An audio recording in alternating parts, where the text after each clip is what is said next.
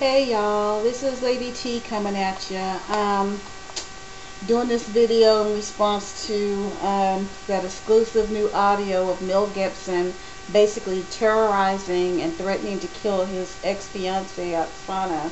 Um, today while I was on my um, on my lunch break, um, I went on MSN.com and of course his caption comes up and it directs you to radaronline.com. I don't know if y'all can see that or not, but anyway, go on to radaronline, all one word, dot com. That's R-A-D-A-R online.com. It's the first story that pops up as soon as you go to that website. Um, I'm going to try to make this as short as I can. Um, in, in, doing these videos, those of you who also do videos, um, it only gives you 10 minutes to do it. So if I can't get this done in 10 minutes, I'll make a video one and then a part two to this video. Um, I'm just shocked. I I am a, or was, should say, a die-hard Mel Gibson fan. I love Mel Gibson. I watched all his movies, from Braveheart. I even watched that whack movie, Waterworld. That movie sucked, but because I love me some Mel Gibson, I went and watched it. Okay, I watched Lethal Weapon 1, 2, 3, and 4. In fact, Lethal Weapon 4, I went paid full price for to see twice because Jet Li was so off the hook in it. Never seen him before. He excited me. Loved him. Anyway, after seeing this, after reading this article and listening to y'all please go on to radaronline.com and listen to this fool talking to Oksana. Luckily, she was smart enough to capture him on audio tape saying this stuff because she probably knew all he gonna do is it's gonna be my word against his. He gonna go on TV talking about I'm lying that he would never put his hands on me. And this way, I'll be able to prove that this fool attacked me. And I guess evidently what happened was they got into a fight and he basically just straight up cold cocked her and busted out two of her teeth while she's holding their eight month old baby. For real? Are you serious, Mel Gibson? You a, a, a, woman abuser? For real? And not only are you an abuser and got busted, but you go on to threaten the girl that you're going to kill her, that you're going to put her in a rose garden, that you can do it, that, that you're capable of it. You call her all out of her name. You call her a, a, a, a cunt even making racial slurs, talking about that she'll deserve it if, if a gang of niggers, yes, people, he said niggers, gang rape your behind, you'll deserve it because you provoked it. In fact, just so y'all don't think I'm lying, it says here, on July 9th, radaronline.com released audio of Mel's bio-racist rant. He is her telling Oksana, you look like a effing, sorry if I offend anybody, B-I-T-C-H in heat. And if you get raped by a pack of niggers, it will be your fault, alright? Because you provoked it. Can you believe that? This Mel Gibson. Mel Gibson, y'all. Oscar winner. Oscar winner. Talking to his fiance like this. I'm just shocked. I mean, these men in Hollywood, if they ain't cheating, they beating. I mean, uh, for real, I, I, I'm just shocked. I just can't believe it. I mean, I've been tripping all day. If any of y'all who follow me on Facebook or YouTube, well, this will be on YouTube after I upload it. Like I said, it'll probably be two videos because I'm going to share with you a personal experience of mine of domestic violence.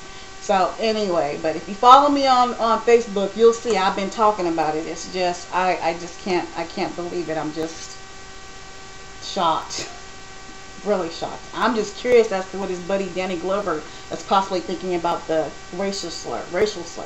What his friend Oprah thinks about his racial slur. Didn't know he was a racist pig. I, didn't know he was a woman abuser. I Who knew? Anyway, my own personal thing on this, why this bothers me so much is, um, I don't want to, I don't, I don't classify myself as, as a, a, an abuse victim because I didn't stay, I mean, it happened that once and I, I got away. I got out of it immediately. I didn't stay there and try to make it work out. I didn't, you know, try to why figure out why my boyfriend attacked me. I just got out. He didn't see me again until after I had had my son, and that's why because my mom was like, Trina, you, you know, Maurice needs to know who his son is. That's not right. You know, he's got a man child. He needs to know. You need to call him. That's the only reason why I got back in contact with him is because of Christian. But anyway, I digress.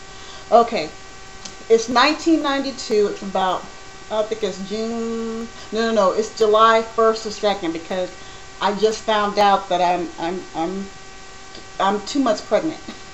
Okay, so I'm tripping and scared.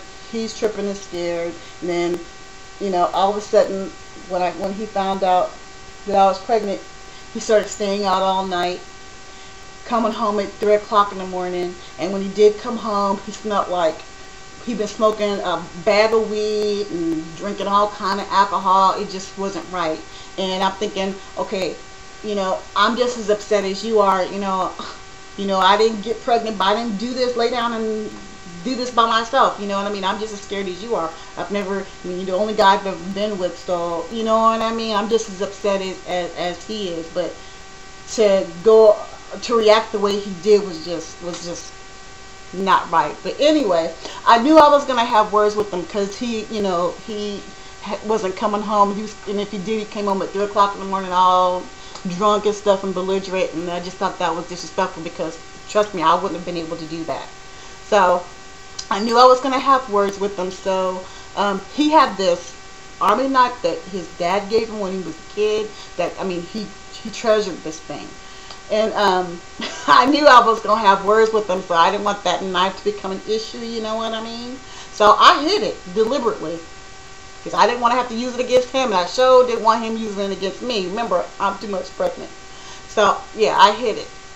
So anyway, okay, so he comes to me at 3 o'clock. He lay down. He lays down for a second. He wakes up at about 5.30. Here comes 6 o'clock he's nudging me on my shoulder. He's like, hey, uh, uh, can you give me five dollars for some lunch money? And I'm like, what?